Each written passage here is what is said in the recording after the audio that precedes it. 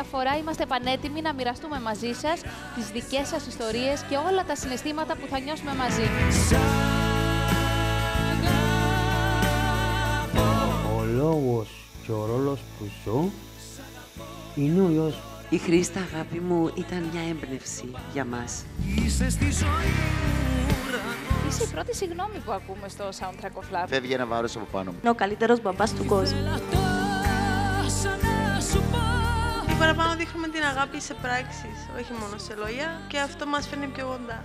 Δεν υπάρχει περίπτωση να δώσεις και να μην γυρίσουν πίσω σε σένα πολλαπλά.